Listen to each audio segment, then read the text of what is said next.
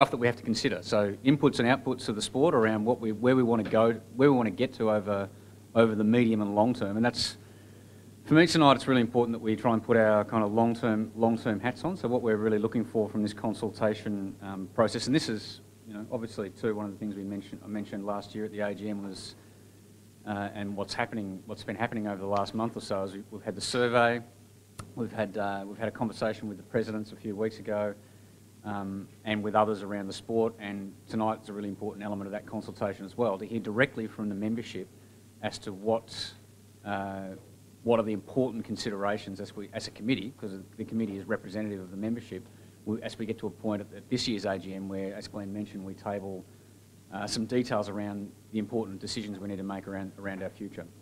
So that's about how we, you know, how we deploy resources, what it costs to do the sport, how, how many bells and whistles we have, we have in, the, in the competitions we deliver, etc.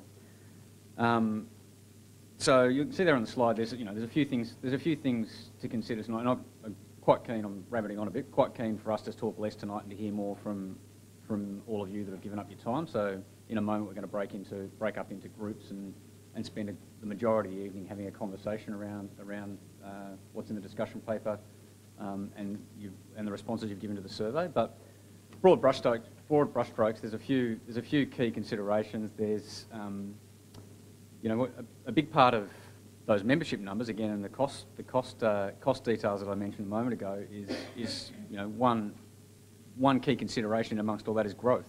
So, so by definition, if, if the membership's getting slightly smaller, and it's not, you know, it's not like there's a crisis. We've just had fairly stable membership. There was one year where it went up by about 100.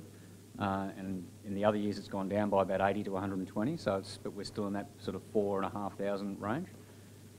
Um, but that's not growing. So, you know, if the sport was attracting more, the strategy of the, of the, almost, almost by default, the strategy of the sport and the committee has to be to try and deliver, deliver the, the, the sport to, to our members in, in such a way that helps, uh, helps us grow, helps, more, help, helps us attract more participants to the sport that we all love. So one of the considerations is, okay, we, have, that has, we haven't, collectively we haven't been successful at, at, that for the last few years. What are we, or what's the collective wisdom in the room? What do, we, what do we think will work better? Do we think that's the right thing to consider? Are we happy with, you know, do we accept that this is where we're at? And if so, what are the implications of that?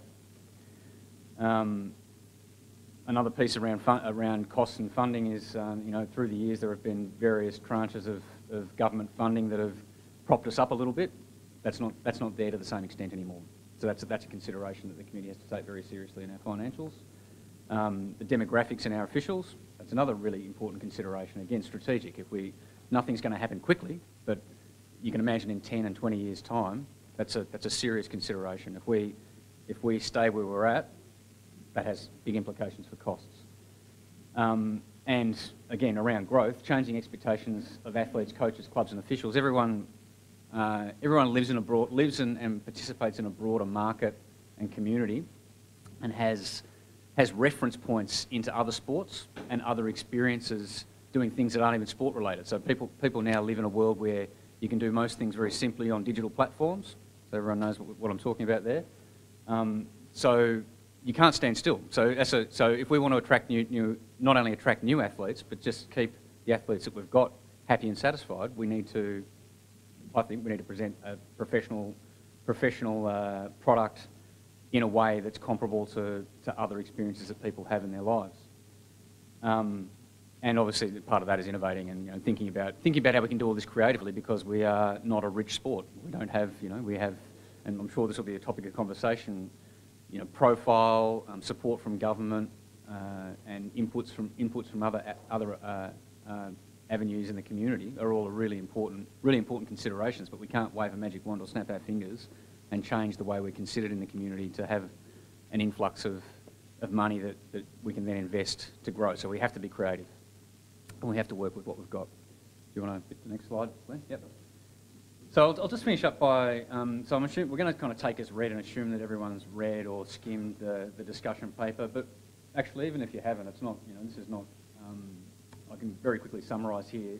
What we've done in the paper is just talk about many of the things that I've just discussed, and then framed at the end of it, uh, you know, intentionally a little bit provocatively, four options.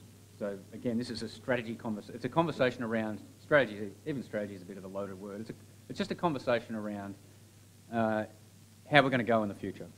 And those considerations that I've just discussed mean, mean that if we can get our heads around as a group um, thinking about some choices, and the committee doesn't have a barrow to push with any of these, these choices. It's intentionally painting a picture of a range of options that we can all consider, and anything in, in the cracks of these or, or separate to those is, is, is fair game for comment and what we deliver back at the AGM.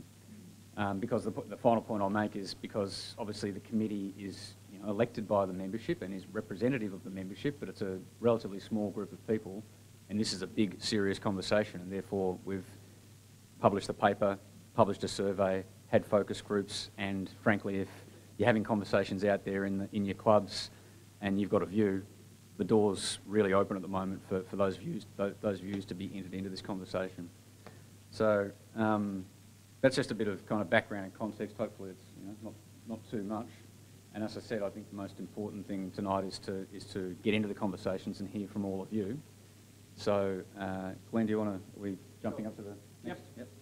So just before um, we break up, or we don't break up into groups, you're already in, in groups. I just wanted to give you a bit of a, uh, an insight into the survey um, that has been very well received. Um, AV's done a number of surveys over probably longer than the five years I've been here. Um, but for this, this year, we had a survey of 14 questions. Um, apart from the demographic and geographic questions, we focused on what was your experience like from a club and AV perspective, who is responsible for five uh, key items, um, in particular for clubs and for, uh, for Athletics Victoria, and who's responsible for growth? Um, and including, sorry, including in the survey were a number of open-ended uh, uh, commentary pieces, so you could have your say about any particular topic. And so far, um, the results have been well, extraordinary. We sent an invitation to 5,430 um, members, and that, they were all the members from last year. And I should take this opportunity for the seven people that are watching. Um, I've actually put the, this paper, um, it's in the same section where you download the link to um, this, this uh, YouTube streaming, so you can, can follow if you download the PDF. So as at today at 5 o'clock, uh, 1,227 have responded, which is just over 22.5%, which is amazing. Um, you can see the split between athletes, coaches, officials, club administrators and parents and a reminder that there may be um, people in all four or only one of those categories. Um, the spread across our age groups is also impressive in the sense that we've captured a very good sample size of our 10 to 19 year olds um, right up to our 60 plus um, and our spread across uh, our clubs. Now it's unusual to have an other at the top of the, the results page but with the 56 clubs, our others also branch out into our recreational running groups and, to, and also some of our uh, school um, kids that, and university um, students who are in both sets of the camp. Um, we did put in a section, um, I do not know, and so far we've had seven people respond. So we will contact them individually just to make sure they know exactly where they're going. Um, Glen Huntly, Box Hill, Darling Valley, Essendon in the country, Chilwell, Geelong, Traralgon, Bendigo Harriers and Eureka. And that's just more for um, I suppose, giving it a framework around how um, well the survey has actually progressed. Um, I wanted to focus on a couple of the key questions to give you a bit of a flavour. What is the role and responsibility of Athletics Victoria? And there were five categories deliver competitions, recruit, retain officials and coaches, educate officials and coaches, provide a positive and inclusive social experience, or recruit new members and retain. And it was very specific um, that we asked uh, about um, ranking those five, not only to, uh, in relation to Athletics Victoria, but also in relation to your club. Now, I want to pause there for a second. There was a considerable amount of feedback um, around uh, a perceived lack of opportunity, lack of, of uh, topics in this particular survey. And I think it's really important to, to um, keep a survey relatively short. Um, otherwise, people lose interest. Now, on average, this survey took about seven minutes to complete. Um, and yes, we could have delved deeper into issues around recruiting retain, and retaining officials and coaches and, and uh, particular members. But we wanted to get a snapshot um, to, to get that framework in place and to get an indication before we, we went uh, a little more in depth around the growth questions. Um, so you can see that, that a majority of our members believe that we should deliver competitions, recruit and retain officials. And not surprisingly, um, this should actually say, sorry, clubs. My apologies, I've not changed it. So what is the role and responsibility of clubs? Provide a positive inclusive social experience, which is um, a very strong result. Recruit new members and retain them as expected. Um, recruit and retain officials and coaches is um, certainly an indicator that um, there needs to be a bit more work done between um, the um, uh, Athletics Victoria and also all of our clubs uh, on how we actually deliver that aspect. You know, things like coaching frameworks, spending more time supporting clubs, um, and to, to assist them with growth.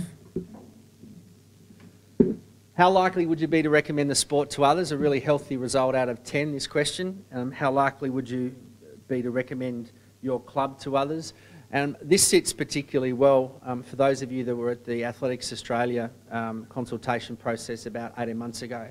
The Sports Commission had has completed a study in 2014 suggesting that a majority of people no longer wanted to participate in a club environment. They wanted unregulated and fun sport um, and didn't expect a club to provide social activity. So this is a really good result uh, and it shows the strength of our club system in Victoria.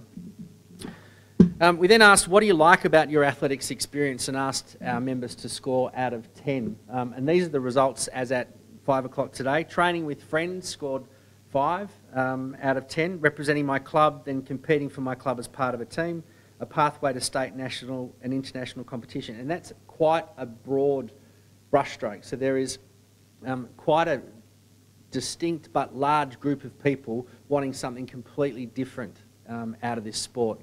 Um, and it does actually make it very difficult when it comes to competition structure to try and find the right platform in which to deliver um, an expectation to so many um, varying members. And we may, we're getting closer to getting it better. Have we got it right? Um, probably haven't got it 100% right. Membership growth was also important. Um, which pathway into Athletics Victoria do you think is most likely to attract new members?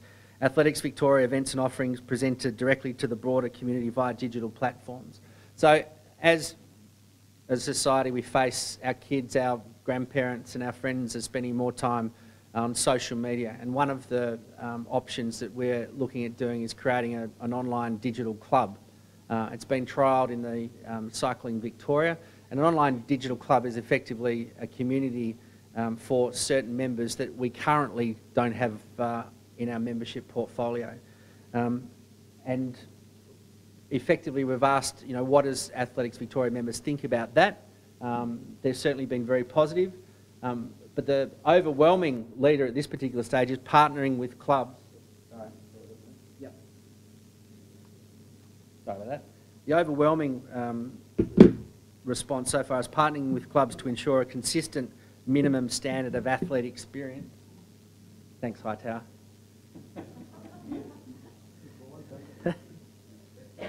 Um, and then we also put in there a smaller number of clubs which can self-manage growth and run events. Clearly that's not the, the most popular choice. And again, these, these options were put out to start the conversation. I might just wait till that comes online. Um, for anyone that's just arrived, if you do want something to eat, please feel free to grab something at any point in time. There is, of course, some soft drink and water up at the, at the, um, in the fridge.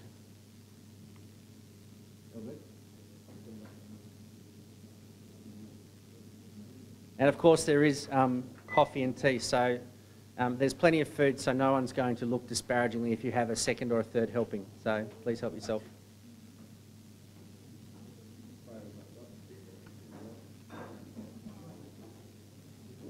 Sorry?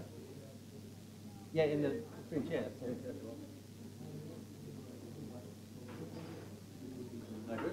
I don't know.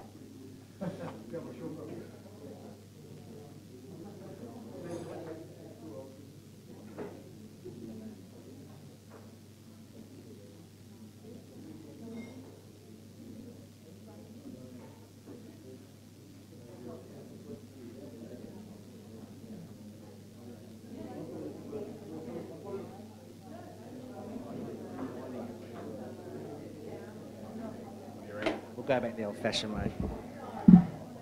Don't worry, Roscoe, we'll do it. The word, the word cloud would be nice if we can get up.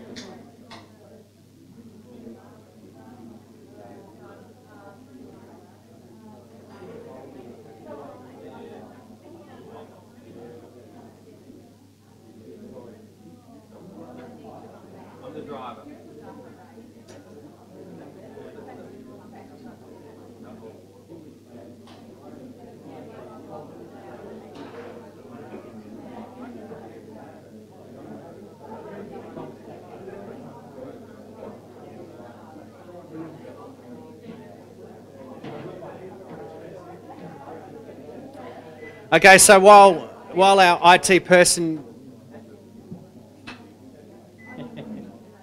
we'll do this the old-fashioned way, which is before blackboards and so forth. Um, um, don't touch anything. There we go.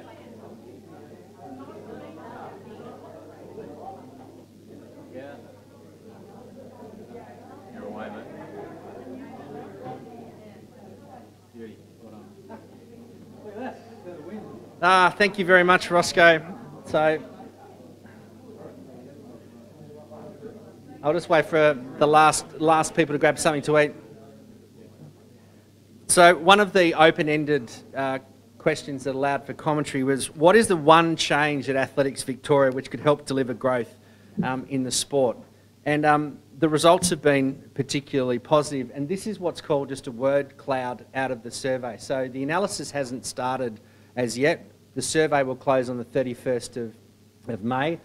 Um, the way that SurveyMonkey works is that the uh, words in the biggest font are the ones that are the most common in all the answers. Now, I think only 10 to 12 people skipped this question in the comments section, and we've got some incredible feedback, some positive feedback, some constructive feedback, and there's a plethora of things around growth. Um, forming stronger relationships with recreational running groups like Parkrun, um, spending $100,000 on media coverage, um, uh, getting our, our, Shield competition and all our championship events on Channel 31. Um, but one of the biggest ones was merging with Little Athletics, which is part of the One Sport Charter. Um, I should welcome Anne Lord from the AA board as well. Um, the, part of the, the strategy is, you know, looking at one sport and kind of uncluttering the current pathway that we have.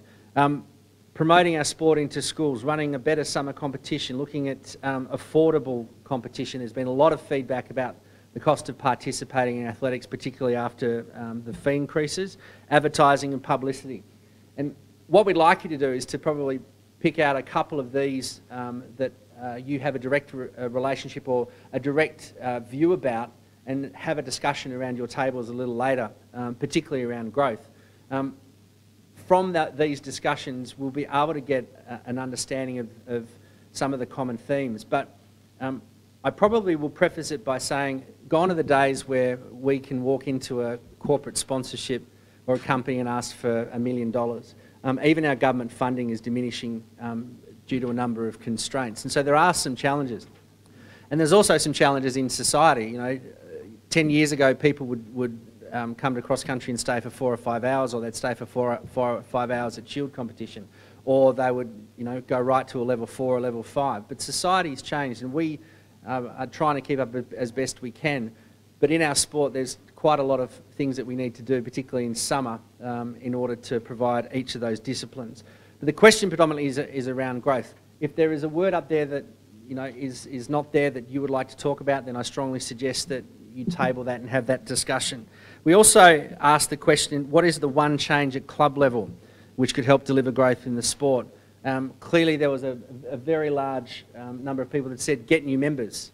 Um, but clubs at the moment, there are 56 of them, ranging 200, from 237 uh, down to 17 members, and, and um, even uh, the simple governance requirements for, for consumer law as an incorporated association can struggle. Um, so there's certainly got to be, be some action from our, our point of view. And you saw the question before around um, AV should partner more strongly with clubs in order to provide um, a uniformed experience. Um, and that's certainly been a very strong message. Um, community engagement, um, more coaches around a, a framework, um, looking at the social interaction, and again, merging with LATs. So it gives you a bit of a flavour of, of what's coming out of uh, the survey. And as I said, it's, um, it's very constructive. the survey is open to the 31st of May. I assume that people have probably already uh, completed it. Um, from that, the committee will formulate its um, framework and strategy. Um, and again, we're going to publish all of the results on the AV website, and we undertook to do that um, in this very room on the 25th of July 2015. Um, so all of our survey information is available. And as Rowan said, the strategy will be delivered um, at the AGM in July. So that gives you a bit of a taste. If anyone would like to, I've got a couple more copies of the information for the survey. I'll put one on each table. Um, but I'll hand back to Rowan, who's going to give us um, an indication of what we're going to do with that group session. Thanks, Glenn. Uh, there's really not a, a lot more to add other, uh, over and above what Glenn's mentioned there. So I think if everyone's comfortable in, on the tables that they've just uh, accidentally or you know partially accidentally found themselves on, what we'd like to spend the majority of the evening on is, is a conversation in groups.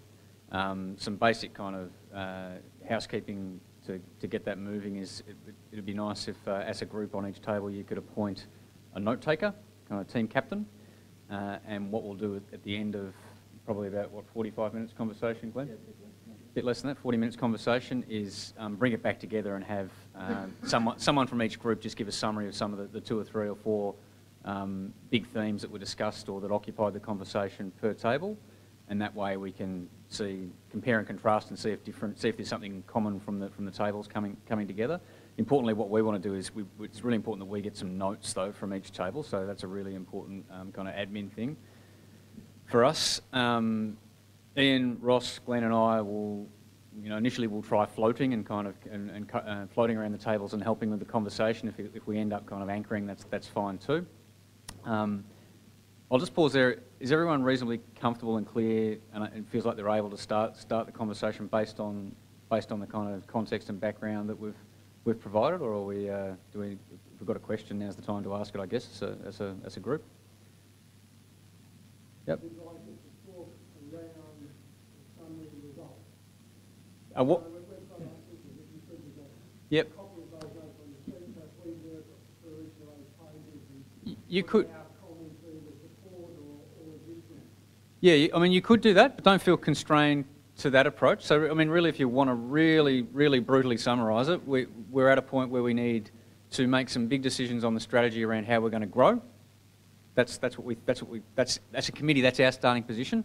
You could do two things with that. You could say, well, you know what, hang on, you've got it wrong, we don't want to grow, and then talk about, talk about what, that, what that means.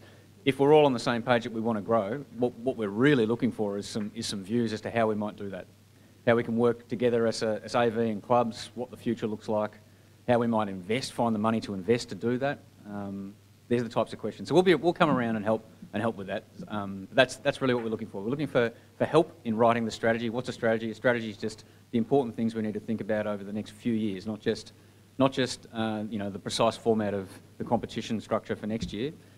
Whilst that's critically important and actually is part of the strategy, it's not, it's not the, you know, how are we going to attract I don't know, 10% per year of new members in through the club structure over the next few years. How, are we able to do that? How could we do that?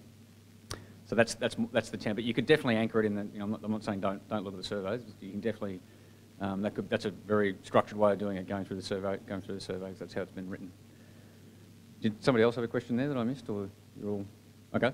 I reckon let's uh, let's bounce the ball and get into it. We'll, we'll float around.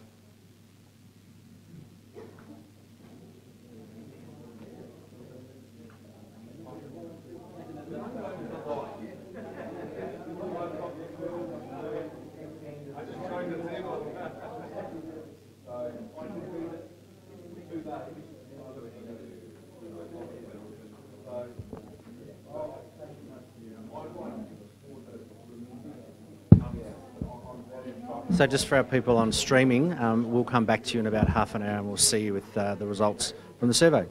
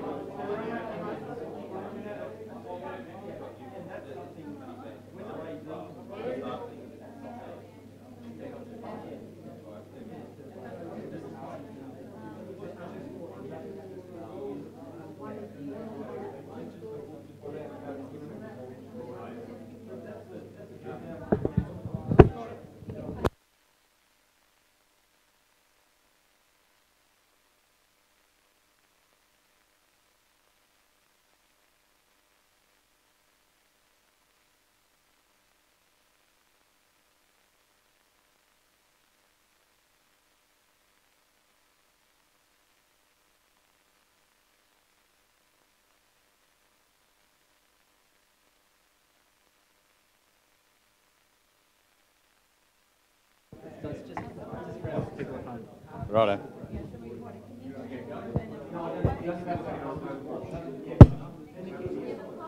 All right, we might. Um, okay, everybody, we might wind it up. Wind it up there, please. So I'll just give it uh, a 15 second wind down. Scratch down your final summaries. I know everyone's enjoying the conversation, passionate, right in the guts of it. It's good to see.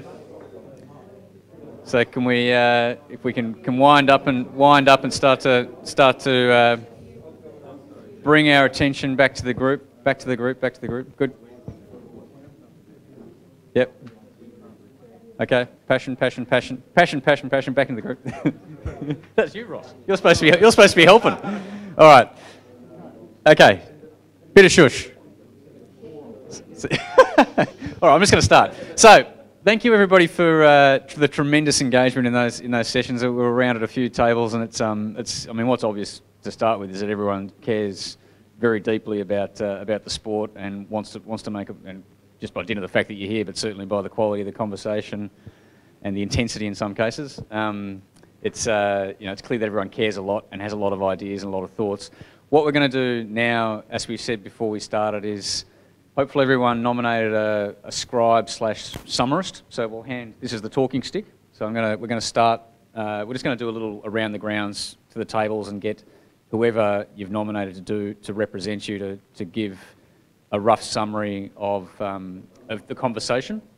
So, and that's not, so it's, the only reason we've got a microphone isn't to intimidate, intimidate anyone. We're actually, um, uh, what are we calling it, Glenn? Streaming. Streaming on YouTube. So we have, I think, 10, 10 other people watching. So, so it's a, so um, yeah, that's right, that's right.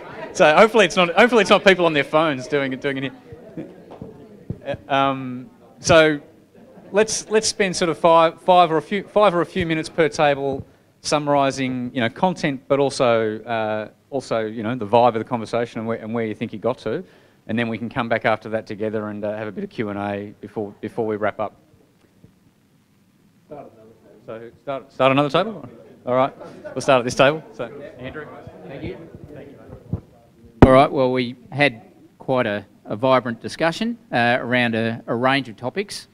Um, probably three ones that uh, our main note, note taker took uh, were around recruitment um, and probably promoting that notion around uh, social engagement. So looking at the, the club as being a social hub, um, as being a, a really important component of that, and having someone within that club whose role is around that um, engaging and recruiting and retaining. So you know, we have different members at our club. So we're at Collingwood, we've got one or two people who are really good at sort of a new person walking in the door, jumping on them straight away and, and uh, farming them out to various coaches. But um, sometimes there are opportunities that uh, where people don't get, you know, they might make contact with the club and repeated contact with the club and nothing comes of it. And so you're losing, so there's no really good, I suppose, systemised approach to to actually um,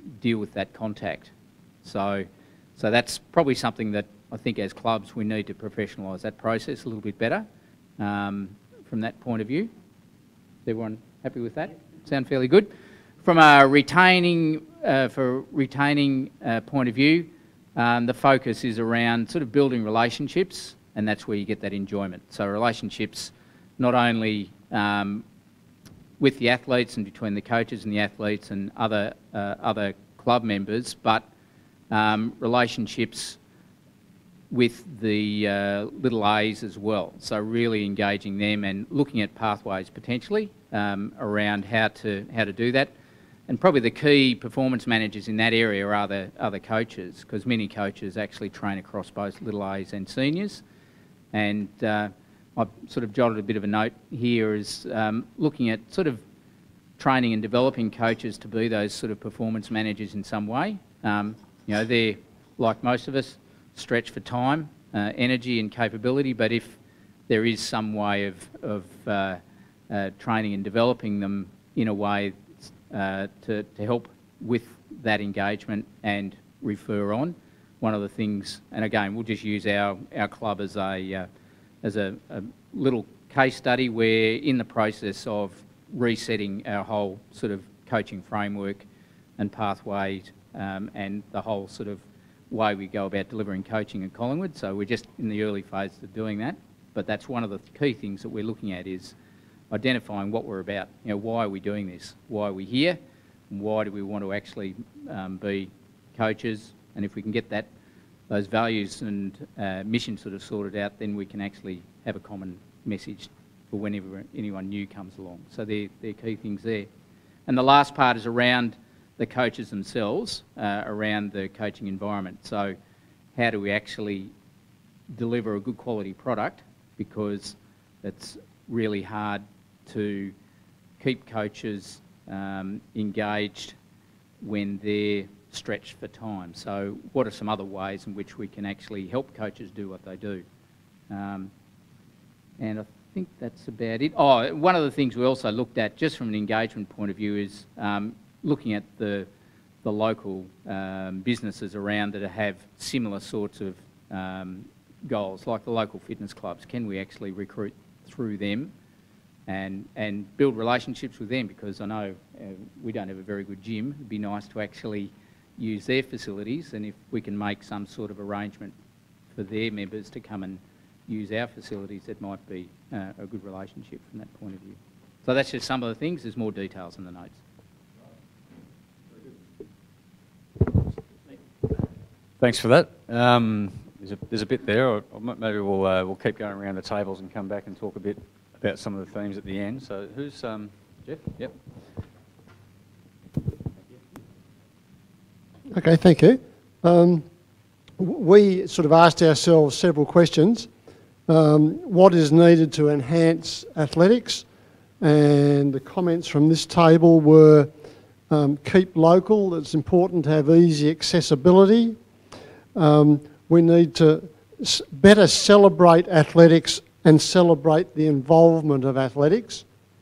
And that's whether it's through clubs or, or promotion uh, external promotion.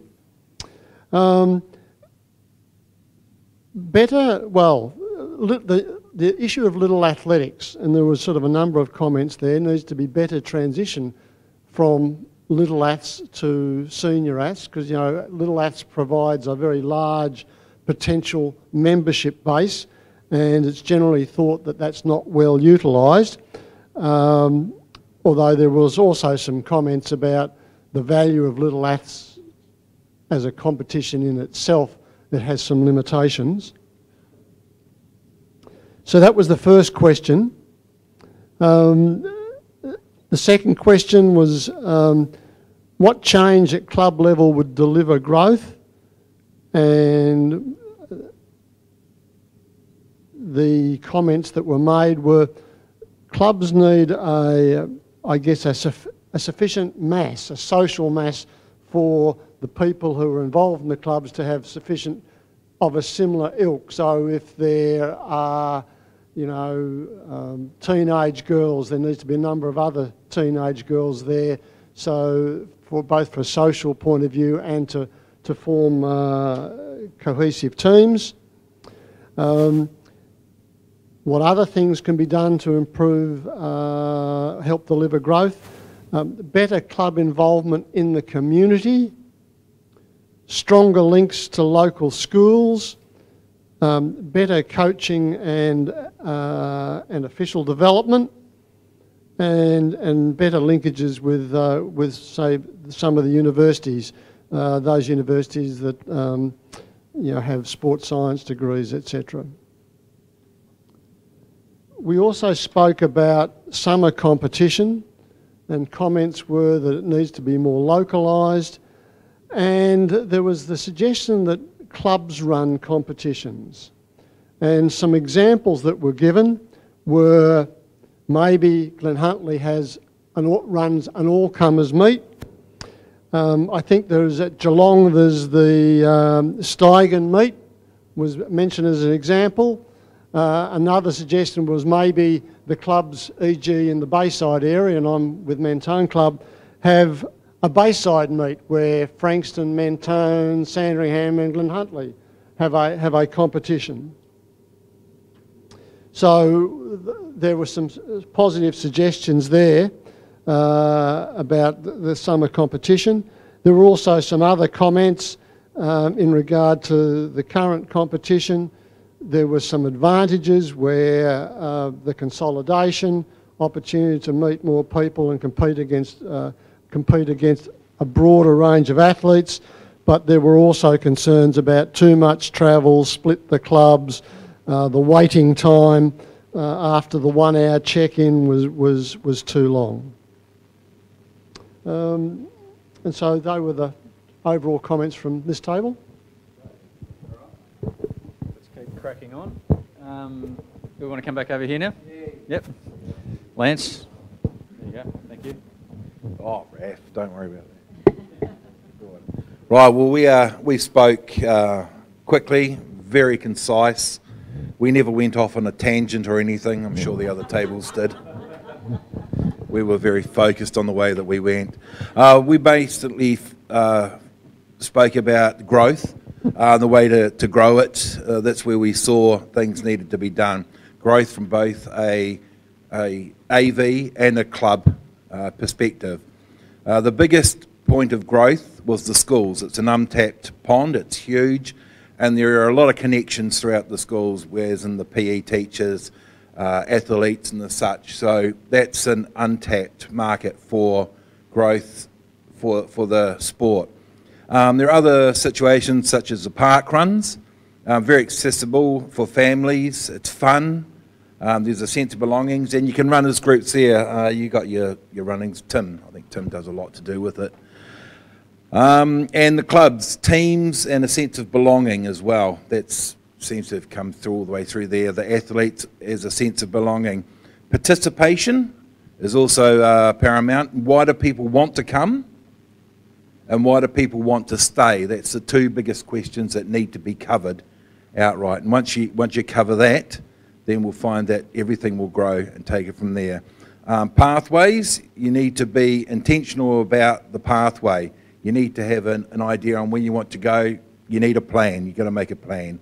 Uh, the pathways we've seen would be the schools to Little S, seniors, and obviously up to AA from there.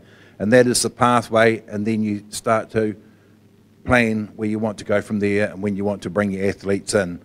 Um, interactive is, is, a true marketing at all levels uh, Facebook, Instagram, Twitter, all, all of that. That's where you need to be with the athletes, to communicate with them and get them to come back to you, interactive, rather than just broadcasting announcements all the time. Uh, the competition, some of the competition was, um, we felt was disjointed because of uh, transportation problems, you know, now that there is only two, pro, uh, two uh, locations rather than the four, people are having to drive for a lot further to get there. Uh, we felt that that may have been a bit of a hindrance. Am I going too fast? No, Damn, I'll go faster. Um, and, and also, with there being the two programs, uh, the splitting of the athletes, um, as you're all probably aware, with the duties and that, it's a lot harder to fill with athletes going here, there, and everywhere. Um, not, not such a big problem, but it is, it is obviously a problem. It all compounds itself. And then also marketing. How are you going to market yourself? Uh, interactive, again, rather than just posting it out there. Um, such as the Cathy Freeman at Scienceworks. Kids, people love competing against them, against her there where they are. So interactive where they are. Um, there's athletes in other countries that are doing things and involving the crowd, and the crowd is right there. If you remember back to the Nitro, everyone was there and they loved it. Rather than being up in the grandstands, they were there, they could high five them and all of that. It's very important to make people feel included. And then recruitment and retraining, the cadetship of officials, again through the schools and the clubs, rather than just asking for volunteers and expecting people to come up and see you. That's also very important. See, we were focused. Good table. So now we've started clapping halfway through. That's a bit unfair. But anyway, um, who's the uh, nominated speaker on this final table? I'll back up everything that the previous speaker said. It's a hard act to follow. We, I guess, this is quite a dot point, but um, we hit on many topics, as you could well imagine. Probably the first, you know, the big concern is gradual drop in numbers. That was mentioned more as a, you know, a topic rather than any resolution coming directly out of that. Uh, we felt that at all levels, club level, there could be more youth input, youth involvement in terms of social media, all the, the new digital age, uh, communication aspects, and it really is the realm of the young, so we probably need more young people to advise, to run uh, that, those sorts of activities. Fee increases, in actual fact, there was quite good agreement at this table that quite, you know, compared to other sports, even though we've had maybe a bit of a steep increase, fees for athletics, not really so bad. We hit upon um, perhaps one of the great uh, holes in, in recruitment is recreational runners, particularly into the endurance events. Maybe there's um, a lot more scope to recruit all these recreation, some of these recreation runners. There's a lot of them out there at the moment. Uh, we felt that there was not very good coordination uh, from little athletics uh, into AV juniors. And we hit upon there perhaps a, a lack of any real developmental plan. Uh, we hit upon a, a um, one that um, I certainly hadn't thought of, and that was accessibility of our adult athletes to, to train, given long working hours, and um, even one of our members of the table on weekends to, to have more access into training groups. Uh, the process of membership uh, we hit upon. I didn't really write anything else on that one, so I won't elaborate too much. Club governance, it's been mentioned a couple of times, and it's uh, certainly a, it's a big topic and it's a very important one. We recognise that there's a multiplicity of tasks performed by very largely volunteers.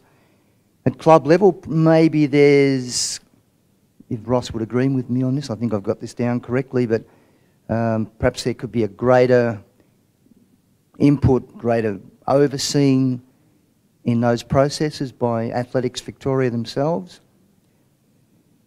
Uh, we hit upon, probably most people would too, the social structure within clubs. Um, I think it happens pretty much anyway, but people obviously need to be made welcome. Clubs to run social events, which probably a lot of them do. An interesting one was coming out of Little Athletics uh, Ross in particular mentioned about the, the UK model about um, in that under 14 area, maybe we could think more about a greater teams based competition rather than maybe, if you like, throwing them in the individual deep end, that they'd be more comfortable um, in a more team environment before going on to the more difficult uh, development from, say, 15 onwards. Again, probably this is repeating a little bit one of the earlier points, but uh, we don't appear to be recruiting successfully out of little A's whilst fully recognising that there's, in my opinion, there's this horrible overlap of age groups, and I think, no, I won't say that. Um, it's not what I think. No, no, I won't say it's not. It's, this is a table opinion, people. And yeah, I'm not going there. Um, the last one, which I wrote very late in the piece, and somebody else mentioned it partnerships with schools. Now, do we really fully get into that? Do we really fully push that? It's an obvious zone where we could make perhaps a lot of gain. I, look, I know my own involvement with the APS, there's a lot of effort, there's a lot of coaches working in that system, but there's probably a far greater number of holes in terms of recruiting from schools. And I think that's an area that we could, we, clubs, AV could certainly look at. And that's about the last of my dot points. Thank you. Very good. Uh, thanks again, everyone, for all that input. So, Glenn has done a uh, terrific job of, uh, of capturing the, capturing those notes. So we've got, you know, effectively mission accomplished. We've got what we wanted from the evening, which is some some great um, suggestions and ideas around uh, input to, to how we frame the the strategy that we're working on at the moment as part of, as an output of the consultation. Um, what I reckon we might do now. I mean, I've, I've got a couple of comments that I can make around, you know. Um, I suppose, hoping to elicit a bit, of, a bit of sympathy for, for what this all means if you're on the committee of AV. So, so um, those ideas we need to work out, uh, you know, which are the which are the most appropriate ones to to pursue, and then how we're going to find the resources to pursue them. So, for example, there's quite a bit of discussion tonight around, um, and actually, what was really apparent to me from listening to the, all that all of that feedback from the tables is that, you know, the engine for growth for attracting new people into the sport is the clubs whether that's the clubs partnering up with schools or doing a better job of welcoming new members or whatever it is. Um, and how, how do, as a, collect, as a collective, as a group of clubs, how do we, how do we create that uplift? So um, if, it's, if it's a matter of AV, the professional side of AV, Ross, Ross and Glenn's team providing support and frameworks so that clubs can do a better, there's a, bit, a better standard of that, of that work being done out in the clubs, how do we do that? How do we make sure the clubs are happy for us to do that? And how do we resource it? Because it doesn't, it's not free. So, we've got a response to that, here. Question on that issue. Yep. AV provide a template to the clubs. This is what an ideal club looks like in terms of governance, recruiting, relationships, marketing. To, uh, actually, Ross, why don't you uh, address that one, mate? We've, uh, we've, on that, I just wonder if there's actually subtitles on the uh, on the video for, for my accent. Yeah, yeah, okay. Um, so at the moment, um, one of the things that we're working on, and correct me if I'm wrong here, Glenn, is, is through the Club Connect scheme. So there's what one of the things that we've been discussing is the third year program of Club Connect and how we try and create some um, governance, club governance, and we, we spoke about it on the table as well in terms of how we look at a template for um, a club to, to look at re recruitment, to look at where they approach and how they do it, um, and also to, to, to, I guess, support um, the local community. So it's it, it's almost, and, and I'm probably speaking on behalf of the group here. We, we threw up a, a, number of ideas and, and concepts about um, club governance, and, and, and a lot of it was linked to the club committee, and perhaps some of the committees may not necess necessarily be the right committee. Um, and, and, and look at ways to, to increase participation through little athletics, through local schools, um, through the schools framework, um, but also providing a framework or a template to support that. Because I think what what we're understanding so far is, and having went out to the clubs already, or some of the clubs so far already, is that they may not necessarily be geared up to doing that. Um, and I guess that's where we come in as an organisation to support the clubs to, to, to try and deliver on our expectations, if that answers the question. Would that be about right, Glenn?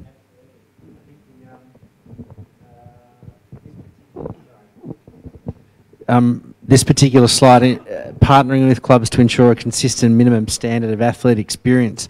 When we had the presidents meeting, um, a lot of the presidents um, adopted um, uh, best practice to recruit, and that was, well, I sent an email in 2015, I haven't had a response. And, and that concerned um, the committee. Rowan was there, so was our president and our other vice president. And what it highlighted is, is that, that um, the second extension of Club Connect is around that marketing and communication. Um, and it's so important. And there's a, di a, dichotomy, no, a difference of opinion that it got down to the stage where we could map, we can tell you every primary school and every high school and every university that's within your region. Um, and we suggested that, that we could help with the introductions and there was a, a split view as to whether AV should split up those schools and assign them to um, various clubs. Uh, and we said, well, look, it, it, it's you're on the ground, and the community piece um, was very strong from clubs saying, look, we are the local community, you know, and we have to do a lot of work um, in order to maintain those relationships. I think the other problem is, and, and perhaps it's the elephant in the room, we appreciate the work of one or two people in a club that have been doing it for 30 years, and we really need to start supporting the succession planning and the transition. And the difficult part of that change management process is there are people whose lives are so dependent within those clubs that it can be a very daunting, daunting task. Um, and we talked about aligning clubs and per perhaps sharing resources. And one option was to, um, and we've approached the government on this, is to get some funding for AV representatives to sit in each, each zone or region, seven around the state, and be that conduit that could go and have the conversation with schools. And, and, and but unfortunately, that costs probably about $300,000, and the Victorian government is not um, uh, able to provide that. But definitely it's an outtake that we'll go back to Kirby and her team at Club Connect saying that this is a matter of urgency to get those templates in place. Very good. So hopefully that gives a bit of a flavour. I mean, this is, you know, the, one of the first things that was said on the table that, that I was sitting at over here is there's no silver bullet. I think that's true. And actually, going back a few weeks to the president's meeting, with one of the first one of the first things that was said at the table I was at then was, "Geez, running a club's hard. It's hard. Like, how do I find the time? How do I find the volunteer resources? The world's changed. I, I could run it 10, 10, 15 years ago. I could run it with a with a landline and some goodwill through the local shopping centre, and now I've got to I've got to know social media. I've got to be able to publish a website. It's bloody hard. So this is I. yeah, yeah. It's, it's all voluntary, right? So so it's um, you know, again, it's been a really good conversation. Uh, there's no, again, there is no, there is no silver bullet. But um, how do we, how do we find? It's not always about money. So how do we, how do we find the resources? Whether it's people's time, goodwill. Uh, we're, we're a large community of people with lots of skills. Uh, you know, please, if you're interested in, in, in being of service to AV in a way beyond your club, you know, keep that keep that in mind too. Um, that you know potentially there's we have to look at things like how do we how do we uh, create other bodies other than just the committee and the and the comps committees.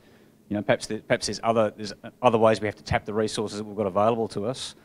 But certainly one of the things that's really important that we've identified that's really important as a committee out of this process is to frame a clear strategy so that when we're going to our own community to ask for help and ask for, ask for um, the resources to make progress, we're clear. And when we go to other stakeholders like government and others, as Glenn and Ross have mentioned, we're clear as well. So that's, that's our job in, in the first instance is to try and distill all this and get to a clear way forward. And again, you know, um, pleading for sympathy, as you can see tonight, there's a lot of, there's a lot of themes, but there's a lot of diverse opinions too. And there's a lot of, um, there's a lot, you know, an observation, there's a lot of uh, um, expressions of what the issues are in the sport or what, what's important in the sport that are, that are based in self-interest. You know, people, people want, which is fair enough. People want to have the, they want to have a good experience that suits the reason that they've been attracted to the sport. But to be successful in framing a strategy and getting to where we want to get to, we all have to sort of lift ourselves out of our own self-interest, I think, to some extent, and, and make a contribution. So that's my kind of, you know, the, one of the things that happens after a consultation process like this that we're all responsible for is to move into some leadership. So we have to, we have to form a view, a consensus view ideally, and then influence and lead and, and, uh, and create the work to do to get us where we want to go. Um, so that's, I might finish with those few comments around, if anyone's, anyone's got anything they want to add or say in addition to that, yeah, sure. Uh, so Simon Baker, I'm on the uh, Track and Field Coaches Association board. Firstly, I just want to congratulate AV and the committee in this process because I think it's it is really a fantastic opportunity for, as you said, so many people who are really committed and really interested in the sport being able to input directly to, to the committee because I think that's, a, that's quite a, a, significant leadership approach. So thanks very much for the opportunity. Um, uh, I don't know if, if many of you are aware, but there's a memorandum of understanding between the Track and Field Coaches Association and AA precisely to be able to help with the improvement of coaching framework, coach education.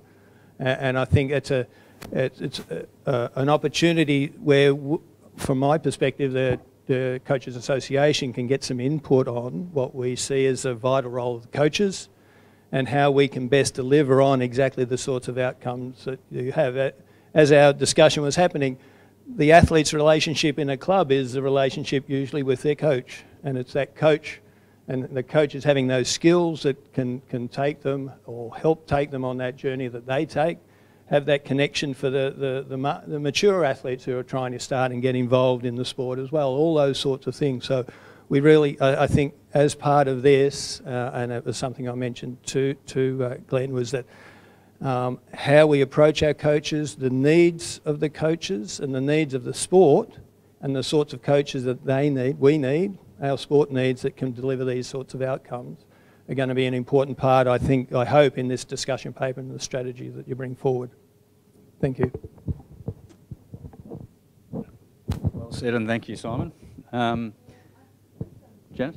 In other sports, um, uh, you tend to have um, people within that sport who are very well known, particularly like you see AFL people, and they'll go and they'll the players will go and coach the younger players, and there's interaction like that that happens, and I think that's really pivotal in making the decisions for younger people to get involved in a sport. So perhaps the face of our our elite need to come out of the woodwork and do something that brings the community together. In Nitro was a great example of that, but I think there needs to be more, and it needs to be more accessible.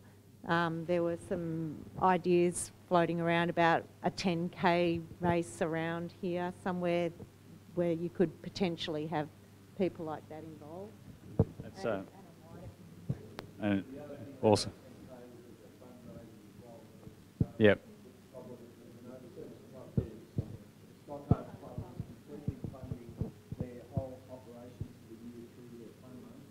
Yep.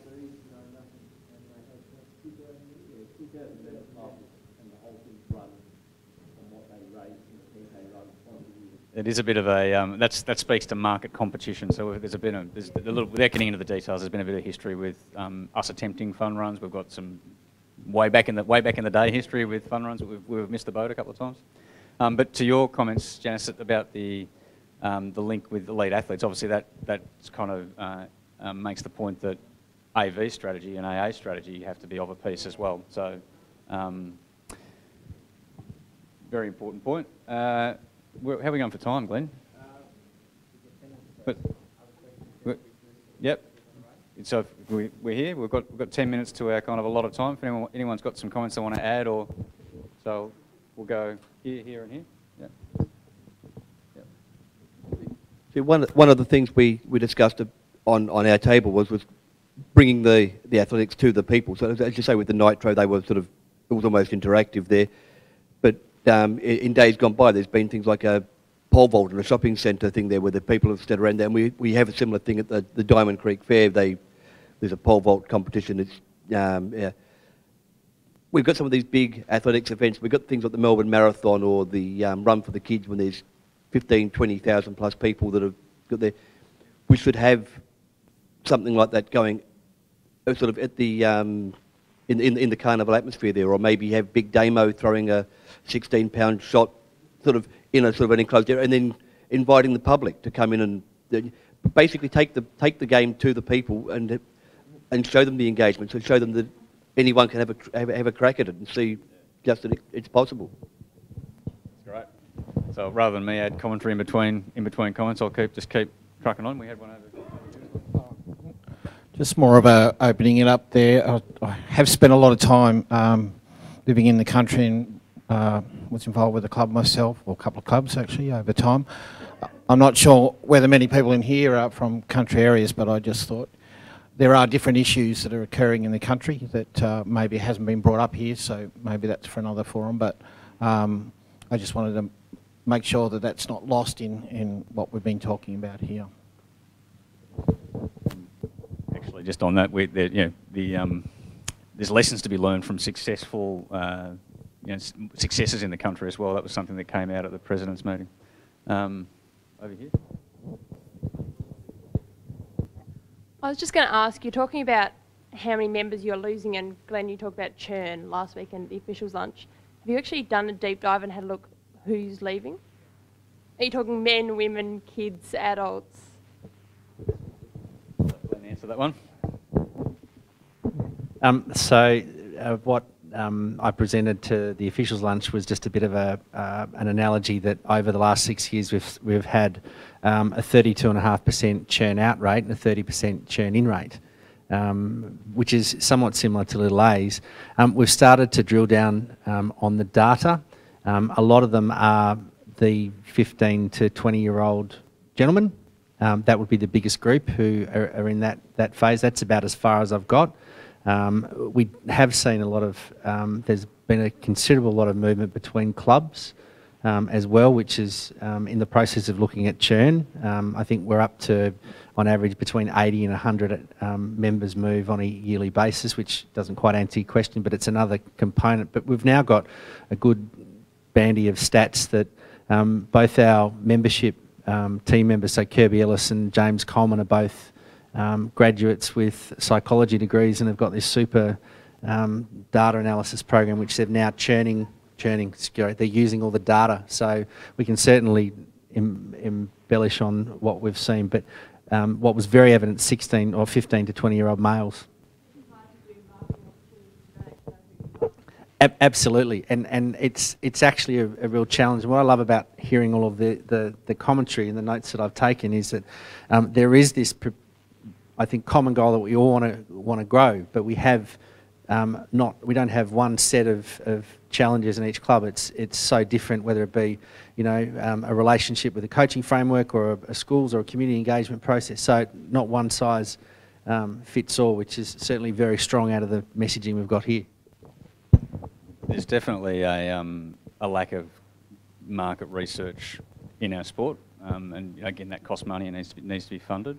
Um, and I mean, as part of the kind of options paper, you know, one of the natural kind of um, uh, disconnected from the reality of the sport sort of suggestions that you put up that when you're trying to work out how to solve for this is uh, if you want to market to potentially new participants in the sport, given that given that the way into the sport is through the club model currently, and we're still working out how to do that in its optimal way, that's where the idea of potentially a separate channel, that's what you call, that's the kind of marketing term for bringing people in a channel, like a, of a digital offering that we talked about earlier, that's where that kind of thought bubble came from, which is not to say that's something we should, or, should do or where we'll land, but that's just to try and explain some of the logic. So if you need to bring new people into the sport, how do they come into the sport? Through the clubs. The clubs are all independent entities, so AV's got limited control, as we've just discussed, over and ability to support um, a consistent level of experience for new athletes into clubs. It's quite different, different depending on the values of the clubs and who's there and how mature and how big. So that's a challenge. That's just a technical challenge. How do you how do you make sure? How, if you were to go out and advertise and do a mass marketing campaign, you can't off the back of that mass marketing campaign guarantee the same experience for all people coming into the sport. So that is just a fundamental. You know, that's a fact on the ground. How do we, how do we solve for that? That's why we're doing this. We're trying to work out how we can do it. And that's why it's, hopefully it's really clear that if we don't do it together, we're not going to do it. um, sorry, I had, to, I'll go um, I think that uh, you were saying something, Glenn, about um, how not one size fits all, and you know we all slightly need different things for different clubs. Um, I think it was last year we came to like a social media workshop that was held here, and I have to say that, like for myself and our club, we got a lot out of that. So we have recently, finally, redeveloped our website, which is like a pretty big thing for us to have done. And we also are using MailChimp. We also are on Facebook more regularly.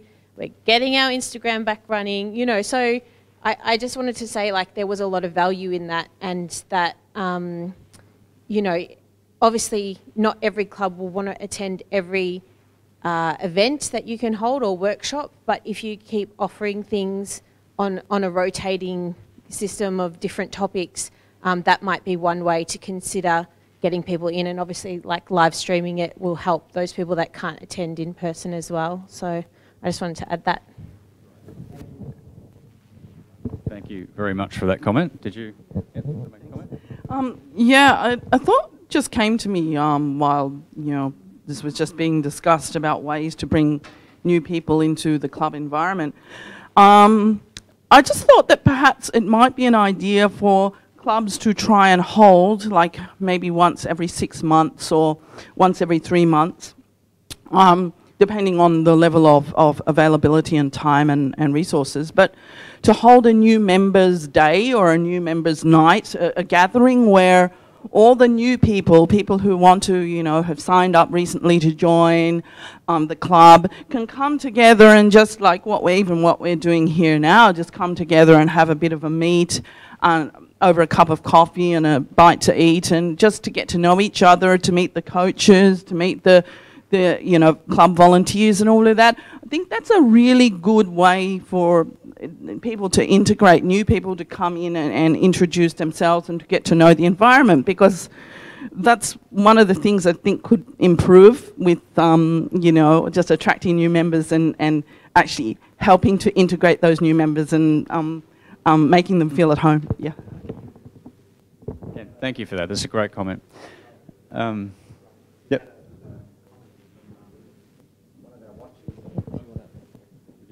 Okay, here we go. So we have an actual comment on our streaming here. Bring school head coaches, heads of sport, school principals, ask them what sort of competitions they would like to see. And somebody else responded, good idea. This is, that's Coach Knight, That's in uh, K-N-I-G-H-T. So we, we know who that is, yeah. Awesome. So there you go. We are we're in we are kicking and screaming into the 21st century. Um, uh, you know, and I don't know. So we yeah we're here tonight well, I think we're getting pretty close to winding up. So I, I might, I mean, I've, I've made quite a few comments. So again, I'll, I'll just add. What did you, sorry, do you want to? Hang on.